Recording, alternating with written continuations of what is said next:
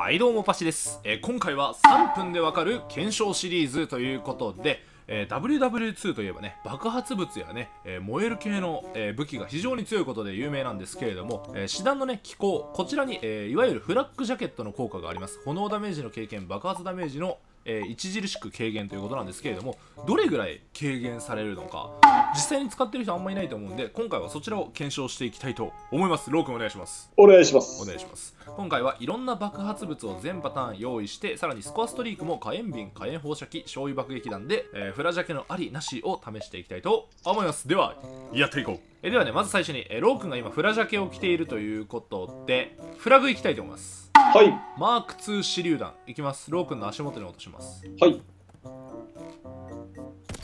おおこれで死なない。あれ耐えるのはすごい。じゃあ次セムテックスいきます。セムテをぺったりすればさすがに死ぬと思うんですよ。確かに。セムテペタリいきます。ペタ。はい。あ。おおぺったりはさすがに死ぬんですね。いなくなったいなくなった。いなくなったんだが。じゃあ足元だとどうなるのかちょっとやってみようか。ペタリ耐えれたらさすがにやばいもんね。ペタリしないように近くに投げます。はい。さあ、セムテ近く。お耐えるんだやっぱ。次は S マイン44。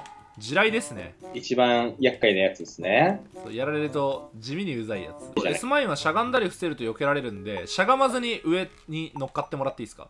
はいはいどうぞあ死ぬんだ。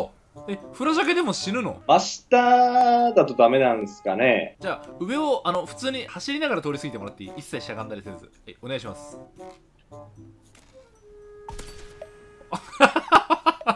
ちょちょっと背中押されましたみたいなその感動を受けるわ。お次梱包爆弾。C4 っすね。C4 ぽい。真上乗っかってもらっていいですか？爆発させます。はいおお耐える。真上でも耐えるんか。えすごいねフラジャケ。さあでは火炎瓶いきたいと思います。さあフラジャケありのロー君にどれぐらいのダメージがいくのか。ほい。あちあちあちあち。4発当てたら死ぬの？さあ山岳のフラジャケなしオパシ。ゴー燃えろ。え？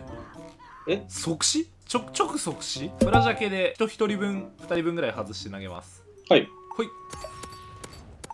あ直当てでも直当てじゃなくても4発切るぐらいって感じですねさあいきます。フラジャケなしオパシゴー。あやっぱ即死なんだ。え強いな。こんな強かったっけ？さあじゃあ次は火炎放射器ですね。フラジャケを着ているとどれぐらい耐えられるのか。いきます。あちあち。お。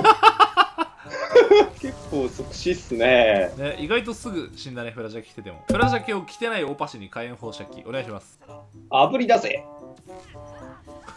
即死やなやっぱ。次焼夷弾爆撃ですよ。OK です。さあ焼夷弾爆撃来ましたよ。どんな感じ？おおナパーム弾怖い怖い怖い。あ！耐えれないんだ。耐えれないですね。あ焼夷弾爆撃って自分で通っても即死なんだ。うわあええ今炎のとこ通ったんですけどあの多分8回くらい耐えてます。へえフラジャケあるとやっぱ全然違うね、えー、ということで今回の検証の結果、えー、気候をつけるフラジャケをつけることによって粘着爆弾セムテックスとマイン44地雷の直当て以外は、えー、ほぼ全部耐えれるということでまあねスコアストリークはほとんど耐えれなかったですね。ただ爆発物の投擲物系には耐えられたので、まあ、結構やっぱロビーのカラーとかで投擲物多いパーティーの方だった時は気候に変えた方がいいのではないでしょうか。ということでねクラスに1個気候を用意しておくのが今後ブームになるかもしれないですね。何してんの？あ、すいません。これはあの外人の煽り方っす。ああ。下、下打たないんですよ、外人って。あ、そうなんですね。はい。これ、あの、おぱしさんの下です。ここは日本だっつってんだろチャンネル登録、コメント、高評価いただけると嬉しいです。